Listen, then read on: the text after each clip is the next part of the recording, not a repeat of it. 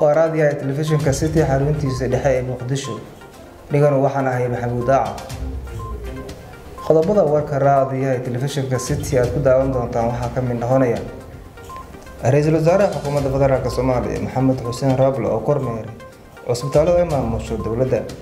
Dad shacab ah oo ku nool golweyn oo guryahooda lagu garaacay. Dibadbaxyaal careysan oo maanta iskugu soo baxay magaalada beledweyne madaxweyne ku-xigeenka galmudug oo mashruuc ayaxbuufin ah ka dahafuray magaalada gaalkacyo ehelada gabar lagu dilay magaalada muqdisho oo cadaalad dalbanaya. Iyo shir looga hadlaya arrimo dhowr ah oo lagu qabtay magaalada dhuusamareeb kuwaasna waxay ahaayeen qodobada raadiyaha telefishinka city. Iminkana isagoo dhammaystiran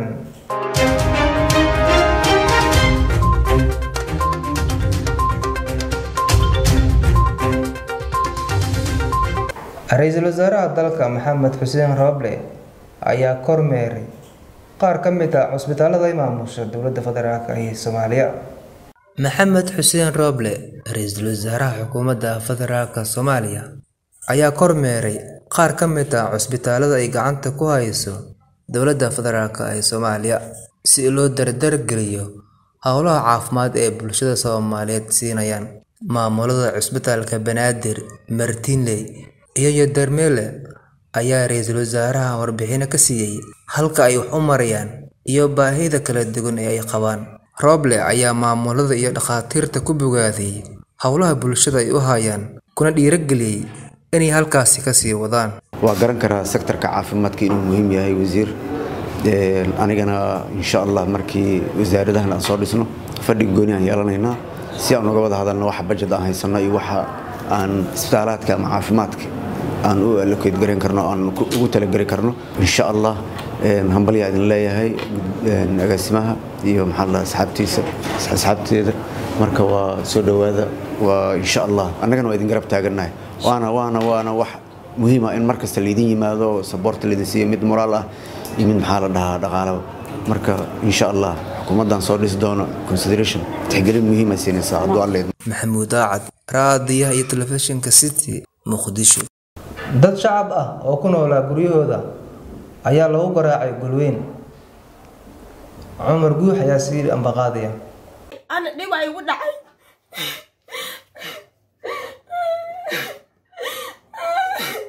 Waa dad shacab ah oo dhibaato loogu geystay guryahooda oo ku yaalla deegaanka golweyn ee gobolka shabeellada hoose waxaana ay sheegayaan in xilli habeen ah loo dhacay guryahooda dhibaatooyin kala duwanna loogu geystay iyaga iyo carruurtooda xilli raggoodii ay ka maqnaayeen guryaha rag hubaysan oo aan la garan balse ku labisan. Darayska ciidanka dowladda ayay sheegeen in ay jirdil u geysteen iyaga oo weydiinaya halka ay aadeen raggii guriga. Qaar ka mida dadka dhibaatada ku dhacday ayaa ka warramaya. Anaa dadka nool beesha galweyn qaasatan galweyn oraxsan xal waxaa dhiisay in ilmahayno naagahayno nimankaan inaa igoo waraab jiraan oo beer jiraan in liinkooyo naagihii la garaaco. Ilmihii la garaaco. Qoryi liin soo qaadido nalag laga baduujiyo cid had walqabadoyto amba maanta un aragoon injirayne ilaa haddan cid noosoo war doonta war naagihii maxali la garaaci. Ama nimanka oo mooryaanta kamaxalado kan ciidanka garaaci. Ilaa hadda nin korkaan kooyn lahayn weeney intay roogaa ilaa hadda aynu soo degayne marka waxqabad ilaaha iska leey intii walqaxqabad korto oo galwiin unkulaadaaso oo shacabka galwiin degan u xanuunsadaaso oo walaalis deganto oo waalishee degan oo owlaadis deganto waxaan rabnay arrintaa inaa meel noo saaro. Maanta waxaa la garaacay owlaadayno waxaa uninana garaacay habeenka ano waxaa la garaacay magaciisa wiilishaan ku yaryaraa walan ogayna iyo lagulagumaaday beer waxaa dhici doonta ina annaga nina dilo cid nin soo oytan lahayne haddii walla nin qabadaaw wax qabad ilaaha iska haddii walla nin qabadaaw waxaa rabnay arrintaa maanta foosxun nin qabadi. Intii aynu kufsane intii aynu dilne ina hadal noo gaaro. Wax qabad ilaaha iska leey. Ilaaha wax qabad kore ummadda walaalahayna ayaan oo reer galwiin ayaan ururka haweenka inaan soo daneeyaan cilka mag aqoon-yahanada inaan nin soo daneeyaan inaan nin soo daneeyaan walaalahan oo xamar roogaan meel kasta roogaan waxaan rabnaa inaan nin soo daneeyaan. Ilaah wal daneeyo. Foolxumol nin qabadi nina garaaci nina tumi guryahaan la badoojiyi xoolahan hantidaana la qaadadi nimankaan waraab jiraan ama beeraha jiraan a waxaa nin gaaday inaas nin dhibo beer waxaa kuwaas annaga iyo nimankaanu in nala garaaco. Intii indhiine intii arrintaas indhiine waxaan rabnaa inaan noo soo gaaro. Waxaan salaamayaa dadweynaha shacabka madaxda iyaan salaamayaa waxaan salaamayaa ilma xalli dhibaa nagu dhacay oo ilmaheyga gabdhaheyga iyo ani dhib noo geesti dhibkaasaa nagu dhacay cadaalad dalaa noogu dhacday. Guri waa la iga jijibiyey ilmaha waa la iga garaac gabdhaha waa la iga garaaci dhibkaasaa ku dhacay gurigin waa arki kortiin dhibkii ku dhacay. Waa kaas salaamu calaykum wacalaykum salaam.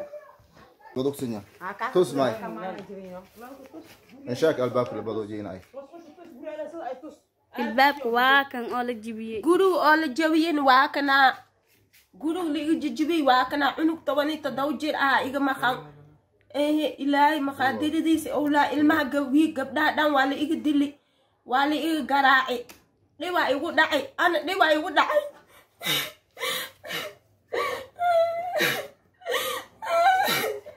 cadaalad daraa igu dhacda cadaalad daraa nagu dhacda anaga nin maanta noo soo garaawoy ma laha nin hadda maanta noo soo hadlooy ma laha dhibaa nagu dhacay mid ka mid ah ragga halkaasi joogay kana mid ah dadka shacabka ah ayaa waxa uu sharxayaa sida ay wax u dhaceen iyadoona wiil dadka shacabka ah ee la garaacay ka mid ah dhankiisa uu ka hadlayo Xalay dhacdo ayaanay dhihisay. Alxamdulilah ilaahay waxaanoo badbaadiyey inaan miit meelanka dhiina.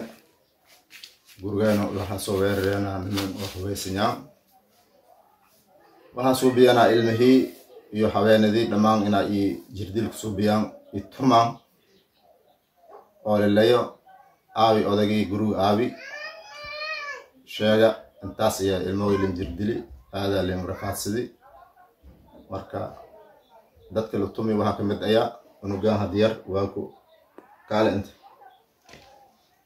unugaan waa la tumi baad wari iyo la tumi unugaan ninkii war ku tumi oona mas'uul eh mas'uuliyadiisa may la dhax kore. Seeli kuweel abu Usi, auga volki auga wikin mo kiyo wan lam dhow.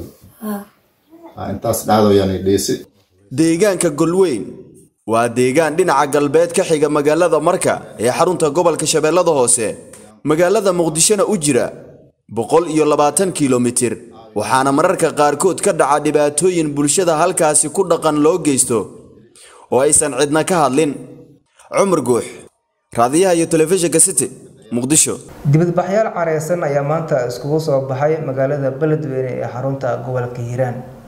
Wariyaha halkaas inooga soo waramo seeko ayaa noo sii aandhee banaanbaxan oo ahaa mid looga soo horjeeday dhismaha labaad ee dowlad goboleedka hirshabelle ayaa maanta ka dhacay gudaha magaalada beledweyne ee xarunta gobolka hiiraan.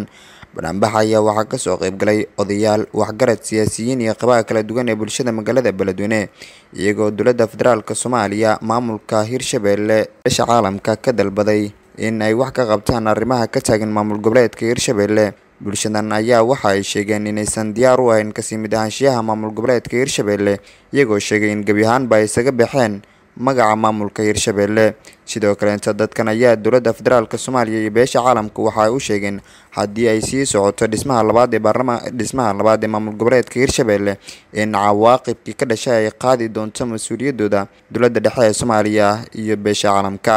Maanta waxaanu isugu nimid bannaanbax weyn oon kaga soo hor hirshabeellada la doonaya in gacan ku rimis lagu dhiso ayaan ka soo hor jeednaa haddaannu nahay reer hiiraan waxay nin baa wuxuu yidhi buunkaygii ninkii xaday meeshuu ku yeedhi lahaayaa la rabaa maroodi jiifa ninkii dhulka ku celi soo isku ugu celin lahaa asagaa laga rabaa hirshabeelle aan loo wada dhammayn ninkii soo sameeya wuxuu ogaanayaa inuusan hiiraan keeni karin reer hiiraanna ay ka siman yihiin yeeli mayno. Yeeli mayno. Reer hiiraan way tastaan go'aanayna qaataan ayna ka midaysan yihiin. Aanan maanta hal meel uga soo wada jeedno cidda taageersan ama hoos ka wadda reer hiiraan oo hawshaas howl ka waddo ma ka yeelayna mana ka yeeli doono mana rabno waxaan caddaynaynaa si buuxda aan u sheegaynaa inaan taageersannahay maanta barnaamijkay reer hiiraan meeshaan ku wada qabsadaan ayagoo raalli ah isku fiyow oo meel ka soo wada jeedo. Marka cid alle cid alle ciddii doontane waxaan kaga hortegaynaa si garab iyo gaashaanlaan uga hortegaynaa haddii ay damcaan inay dulmigaan hireer hiiraan waxjeeraan mana ka yeeli doonno. Waxaan rabnaa inaan u sheegno sii sheegno oon kor u sheegno oo aanan hoos u sheegin. Hirshabeelle sida horab loo sheega waa maamul maamulkaasu kufsiyo waa awal kufsi labaad ma yeelayno. Waxaan diidnay haddana waa diidnay haddana ma oggolin laga bilaabo saacaddaas.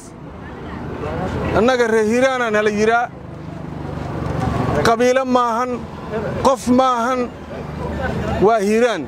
Magacaygu waa maxamed barre xaamud waxaa ka mid ahay ardada halkaan iskugu soo banaanbaxda maanta ee gobolka hiiraan waxaan maanta shucuurteenna ka muujinaynaa in aan ongolayn hirshabeelle qasab lagu dhisayo jujuub hadda burbur iyo dhibaato ka soo raysannay waa ka maarnaa hirshabeelle dowladda federaalka soomaaliya iyo beesha caalamka waxa uu baaqaynaa in aysan ku degdegin dhisiddaas hirshabeelle magacaygu waa bila cabdi aadan waxaa ka mid ahay ardada sheeg maantay oo magaalada beledweyne isku soo baxday bannaanbaxa runtii waxaa maanta shucuurteenna ka muujinaynaa waxa waaye hirshabeelle oo markii hore xoog lagu dhisay. Haddana la doonaya haddana ina xooggii haddana lagu sii bedelo oo la doonayo kursiyaal iyo wax badanba ina la bedelo doonayo. Annika maanta xiisada ayaan lahaynay. Runtii waxa xiisadahaaynu soo daynana waxa waaye waa dhibaatada hirshabeelle lagu haydo maalin walba. Waxaan ka mid ahay nabadoonnada gobolka hiiraan haddii aynu nahay reer hiiraan iyo nabadoonnadoodii maanta waxaan isugu soo baxnay oon halkan u imaannay in aayaha reer hiiraan iyaga ay leeyihiin taladooda ayna ka goodo hirshabeelle baadilka ay ku dhisan tahay ama la doonayo in hadda lagu dhiso ma aha mid aan qaadanayno mana qaadan doonno raallina kama nihin.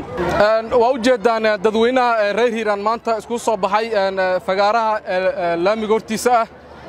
Waxay ka cabanayaan ama dhammaantan aan ka cabanaynaa dhibaatada lagu haayo gobolka hiiraan. Annaka ma doonayno hirshabeelle lagu soo dhoodhoobay muqdisho oona lagala tashan odayaasha dhaqamada iyo ugaaska iyo siyaasiyiinta aqoon-yahanada.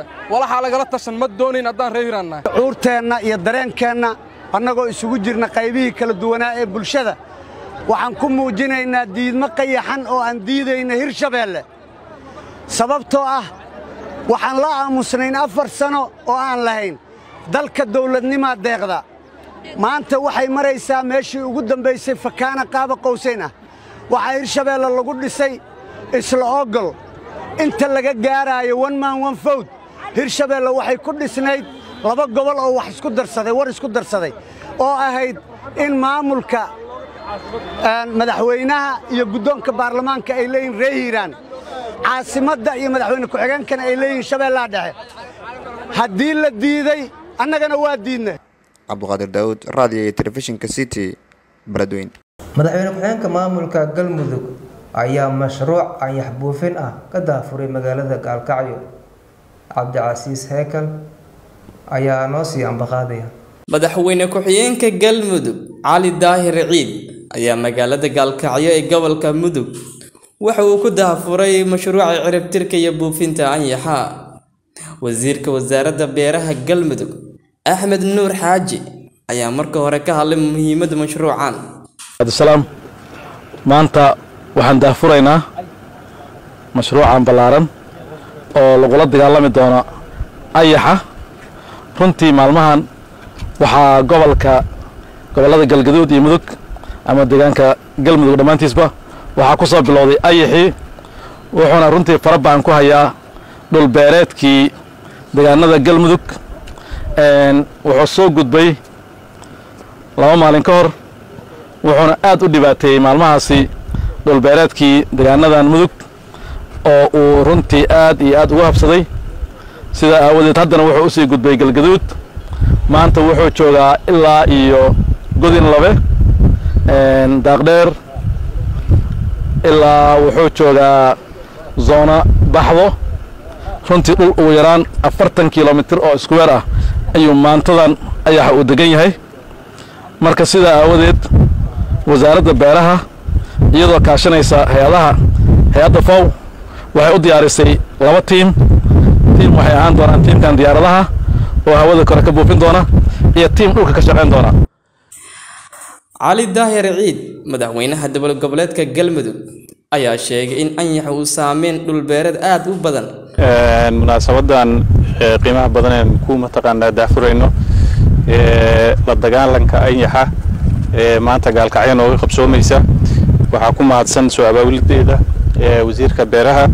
Runaantii anyaxa dhibaato badan buu ku hayaa deegaanada galmudug. Galmudug ayadoon beero badanba lahayn markeedii hore. Intii yareeda ay lahayd anyaxii waa la tegey. Marka inaan awoodda saarno in mataqaanaa aan kala dagaalano waa waa prioritiga koowaad. Cabdicasiis haykal raadiyaha iyo telefishinka city magaalada muqdisho. Ehelada gabar lagu kufsaday magaalada tani muqdisho ee caasimada soomaaliya ayaa dalbanaya cadaalad wariyahayaga cabdimaajid ayaa noo haya. Macnaa jareer waaye ala dili haddaw ii ciinbinaay laakiin waxaa la aasayaa caasho axmed oo ahayd gabar guurkeeda la qabanqaabinayay oo uu degmada wadajir gaar ahaan xaafadda xalane uu ku dilay askari ku libisan darayska ciidanka dowladda soomaaliya.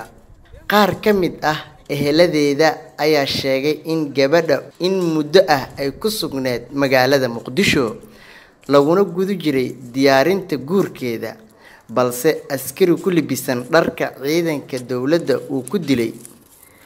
Waxaana maamulka degmada iyo madaxda ugu sarreysa dalka ay ka codsadeen in cadaaladda la marsiiyo dad ay sheegeen in falkaasi ay ka dambeeyeen.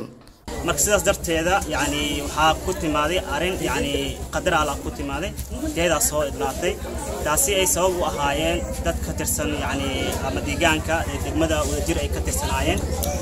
Waxaa ka mid ahaa degmadaas yani qof la soo magacaabay ama yani la sheegaya inuu ahaa qof duug ah inuu soo kaxaystay yani dad ciidamo ah ciidamadaasoo yani ugula dabacsanaa in yani oo xitaa ku raadsanaya dhalinyaro sidaas darteedii uu la kulmay mishinkan ay la kulantay gabadhan ayadoo albaabkeedii horteedii ay taagneed xabadihii ay furaayeen dadkii ay ku raadsanayeen liadli gabadhii ka sii ka soo ka hor imaatay ee xaafadda ka mid ahayd.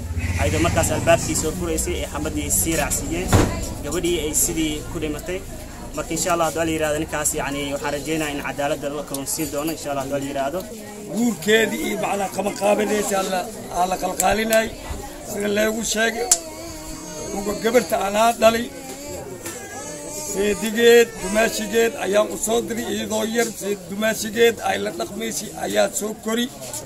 Muga gabarta qadar allaha ku dhacday qof hadduu dhinto oo xagga rabbi codmaqnoo yad lagu dhufto oo dadkii saddex qofoodaa la hayaa oo la leeyahay oona lagu imaanin. Taas macnaha waxaa leeda waa lee yaqay ina lee yaqaan xisaaba macnaa ey camal dhinta camal laga dhig. Ma garati?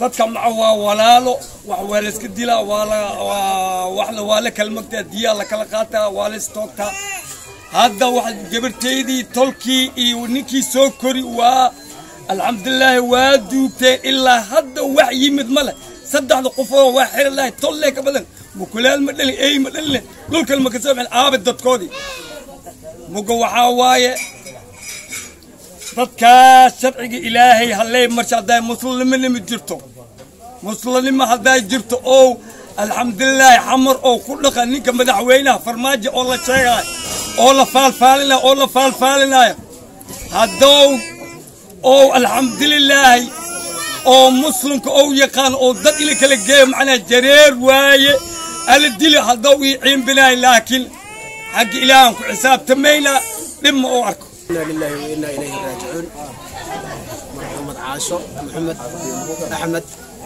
الله كنا حريصه قدر الله كنا عوان ma dhimato geeri waa u noolnahay haddaan islaam nahay annaga geeri waa u noolnahay waa dhimanayna dambiilayaashii ka dambeeyey oo gabadhaasi xabadda sida ula kaca ku dhuftay.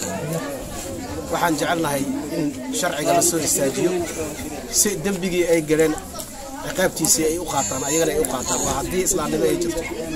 Qaybihii dambe ee warka raadiyaha telefishinka city ayaan isla soo gaarnay iminkana dhoosa mareer shir looga hadlaya arrimo dhowr ah ayaa lagu qabtay magaalada dhuusamareeb cabdicasiis heykal ha noo sii dheereeya mar labaad. Shir ay ka qayb galeen wasiiro ka tirsan maamulka galmudug ayaa ka dhacay magaalada dhuusamareeb ee caasimada galmudug. Shirkan ayaa waxaa soo qabanqaabiyey wasaaradda caafimaadka galmudug kaasoo looga hadlayay horumarinta mashaariicda caafimaadka. Wasiirka wasaaradda caafimaadka galmudug cabdiweli cabdulaahi jaamac ayaa faahfaahiyey waxaa shirka looga hadlayay iyo qarsayaasha ay leeyihiin. Shirkan waxaan u qabanay marka koowaad in aan ku hubinno brogaraamyadii iyo mashaariicdii caafimaadka ee ka socday galmudug meelaha ay marayaan iyo in himilooyinkii iyo ujeedooyinkii laga lahaa la gaaray. Marka labaad in la ogaado gaabiska ka jira iyo dulduleelada ay leeyihiin mashaariicda ayada ah. Gaabiskaas oo u qaybsama laba qaybood midi uu yahay gaabis ka dhex jira projectiga dhexdiisa. Waxaa laga yaabaa hay'ad inay joogto isbitaal laakiin isbitaalka qaybo ka mida uusan shaqo ka soconin. Waxaa kaloo dhici karta in hay'addu degmo ay joogto degmada ay ka joogto caasimadda degmadaas laakiin ay tuulooyinka oo aada iyo aada uga fogfog degmadaas aysan wax ka soconin adeeg caafimaad aysan ka socon.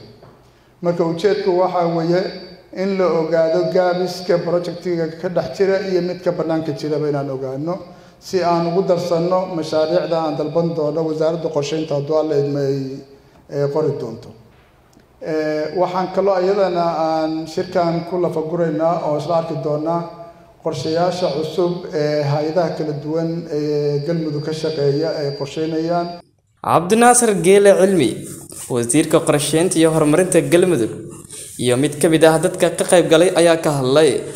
Sida aada la socotaan stateku wuxuu leeyahay state development plan ama qorshe oo stateka u degan oo oo kaas oo sii dhex maraya waxa la yidhahda n d p nine oo asna ah qorshaha qaranka sagaalaad dabcan dowladda federaalka oo n d p nine ay leedahay stateduna waxay leeyihiin state development plan oo dhammaantood iswada kaabaya ama isdhexgelaya ama inline isla ah. Marka insha allah hadduu ilaahay idmo laba kun labaatan kowda dhammaan waxyaabaha noo qorshaysan waxaan rajaynaynaa in wasaaradda caafimaadku liid u ahaato ayaduna mas'uuliyaddeeda ay qabsato. Annaga w ahaan hay'adaha kale oo ka duwannahay annaga service delivery ma bixino annaga xarun maamulno laakiin dhammaan activityda waxaa qabta wasaaradda caafimaadka. Keliya waxaan support garaynaa wasaaradda caafimaadka. W iyadu waxaa la dhahaa waxay tahay xogayaha wasaaradda caafimaadka. Annaga keliya waxaan nahay deeq bixiye ama supporti wasaaradda caafimaadka. Waa dhammaan soomaaliya. Cabdicasiis cabdiraxmaan xasan cabdicasiikal raadiyaha iyo telefishinka city magaalada muqdisho. Halkan ayaan ku soo afmeerinaa warka raadiyaha telefishinka city xaruntiisa dhexe ee muqdisho warka waxaa idinla socodsiinaya anigoo daacad ah. Halka kaamirada iga qaabeynayay cabdimaajid warkan warkiisa xiga. Sidaa iyo nabadgelyo